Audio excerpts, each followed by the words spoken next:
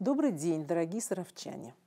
Сегодня, 17 апреля, говорим снова о нашей эпидемиологической обстановке в городе по коронавирусной инфекции. За истекшие сутки у нас еще появился один больной новой коронавирусной инфекцией. Это человек, который уже находился на изоляции, был на карантине, проживал вместе с больным коронавирусом и в следующем своем результате дал положительный анализ. Итого к 20 вчерашним больным прибавился еще один больной, и на сегодняшний день мы говорим о 21 больном с новой коронавирусной инфекцией. При этом распределены они таким образом. 9 из них госпитализировано в больницу. А вчера, вы помните, было семеро госпитализированных, двое за истекшие сутки госпитализированы по социальным показаниям и оставшиеся все находятся на амбулаторном лечении на дому. При этом у всех 20, а, у каждого из 21 э, этих э, людей заболевание проходит в легкой форме в большинстве своем и средней тяжелой степени тяжести. Мы, э, хочу отметить отдельно, что тяжелых форм нет. Об этом были вопросы и задают нам, спрашивают. На сегодняшний день, слава богу, тяжелых форм среди заболевших нет. Плюс к этим 21 людям. У нас на сегодняшний день остается на карантине под наблюдением 110 человек контактных вы видите, насколько это меньше по сравнению со вчерашним днем.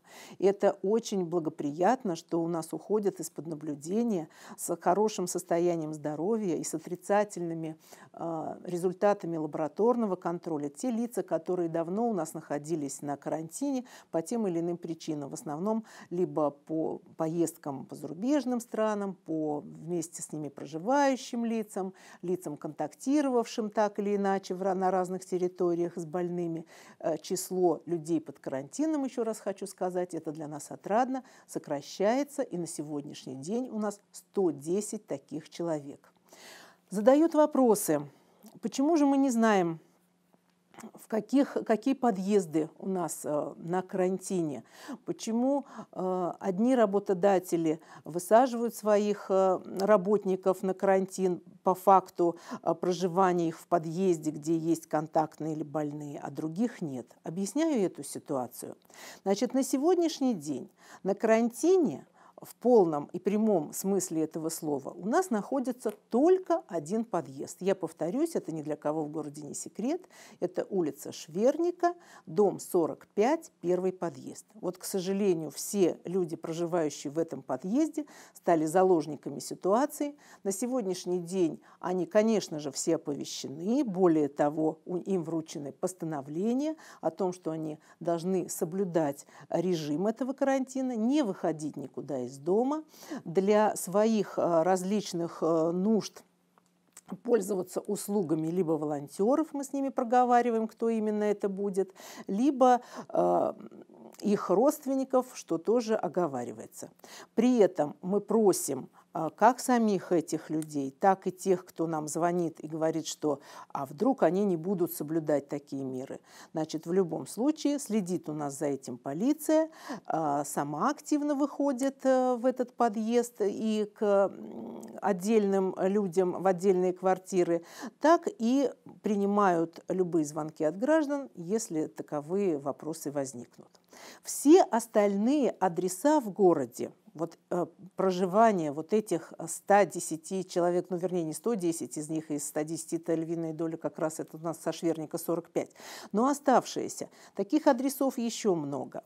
На сегодняшний день в этих подъездах карантин не объявлен, не объявлен. И люди, проживающие в других подъездах, если они сами не больны, не контактные, и им не вручены постановления об обязательном карантине, могут вести ровно такой же образ жизни, как и все остальные наши горожане.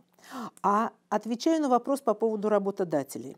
Работодатели на период, который объявлен президентом Российской Федерации о э, об ограничениях к допуску к работе рассматривают в том числе и эти вопросы.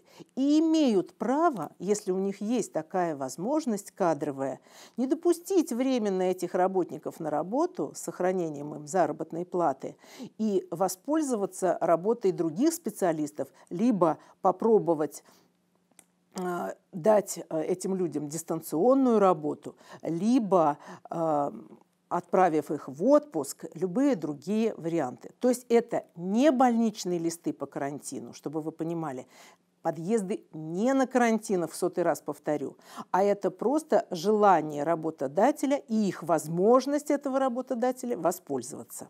Если работодатель не использует эту меру, то, конечно же, значит, человек ведет спокойный, здоровый образ жизни и выходит на работу там, где это необходимо. Значит, еще раз, вот эти все вопросы к своим работодателям. Других карантинов у нас нет.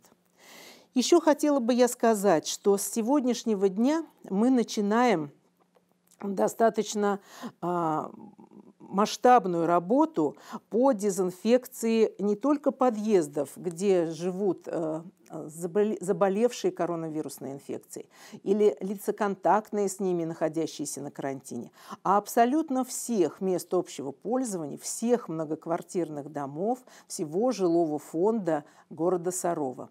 При этом будет несколько изменена э, периодичность и средства, применяемые для дезинфекции в разных подъездах, то есть все-таки в подъездах, где есть заболевшие и где есть контактные, дезинфекция будет проходить ежедневно, а в э, остальных подъездах, может быть, пока раз в два дня посмотрим, но я все-таки настаиваю на том, чтобы на следующей неделе вытек ежедневный. Что такое дезинфекция? Многие нам звонят э, и э, говорят, что у нас на самом деле дезинфекции не было, у нас прошла уборка.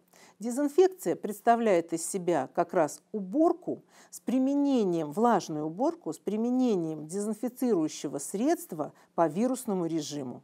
То есть вот в ту воду, которой э, моют подъезды и протирают э, различные поверхности, к которым мы дотрагиваемся, добавляют дезинфицирующие средства в той концентрации, которая действует губительно именно на вирусы.